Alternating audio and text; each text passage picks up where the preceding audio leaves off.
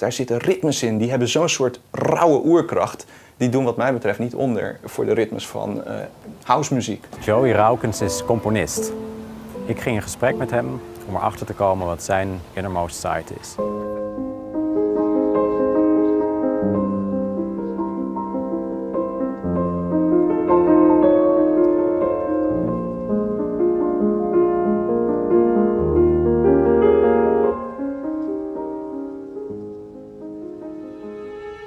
Joey Raukens, componist. Wat betekent componeren voor jou? Componeren is voor mij in de eerste plaats communicatie. En wel communicatie van wat je zou kunnen noemen een emotioneel expressieve inhoud. Dus de communicatie van uh, emoties, gevoelens, affect. Waar het uiteindelijk om gaat is dat je geraakt wordt door de muziek. Emoties zijn vaak heel abstract. Je hebt natuurlijk hele duidelijke emoties, maar je hebt ook allerlei emoties die je eigenlijk niet echt goed onder woorden kan brengen.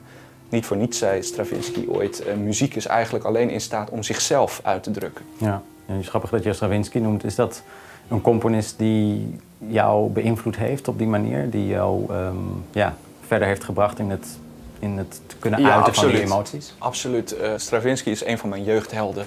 En een componist die tot op de dag van vandaag heel veel voor mij betekent.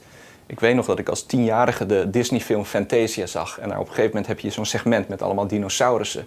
En op de achtergrond hoor je dan uh, Le Sacre du Printemps van Igor Stravinsky, het bekende ballet. En dat was muziek waar ik eigenlijk geen snars van begreep toen ik dat als tienjarige hoorde. Maar tegelijkertijd fascineerde het me mateloos. Ik was helemaal flabbergasted. Ik dacht, wat is dit voor rare muziek? Het was heel dissonant en met gekke, meedogenloze ritmes. En toen heb ik dat cassettebandje daarvan gekocht. Dat was nog in de tijd dat cassettebandjes bestonden. En uh, dat cassettebandje van uh, heb ik helemaal grijs gedraaid. En op een zeker moment openbaarde zich een soort schoonheid in die muziek. En een soort oerkracht die me ongelooflijk fascineerde.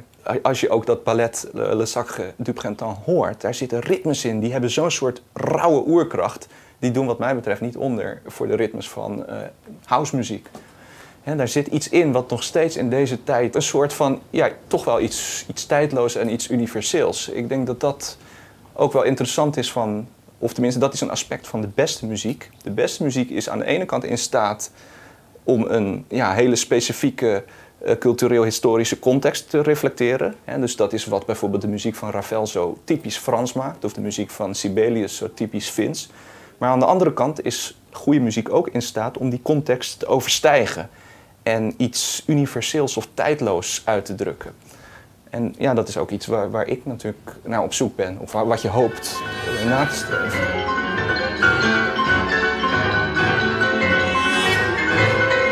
Ik zie achter jou partituren van Bach staan, van Beethoven. Zijn dat componisten die jou ook, uh, net als Stravinsky, beïnvloed hebben?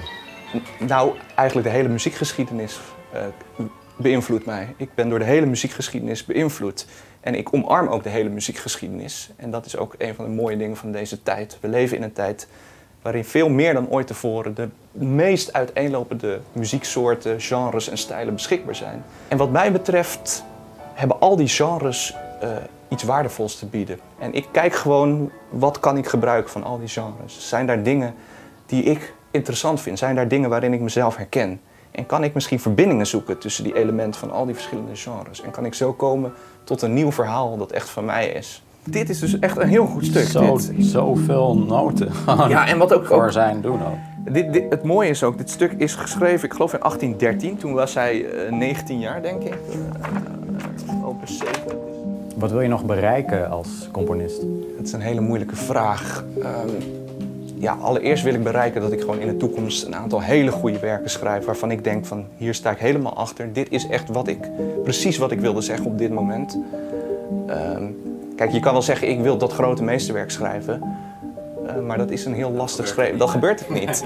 Dus uh, wat ik nu kan zeggen, wat ik gewoon hoop, is dat ik in de toekomst uh, muziek blijf schrijven waar ik gewoon artistiek, waar ik artistieke bevrediging uithaal. En waarvan ik denk dat dat toch iets iets communiceert wat aan de ene kant van mij is, maar wat ook, ja, laten we zeggen, betekenis heeft voor mensen, voor luisteraars. En dan, als het even kan, niet alleen maar die hele kleine groep specialisten.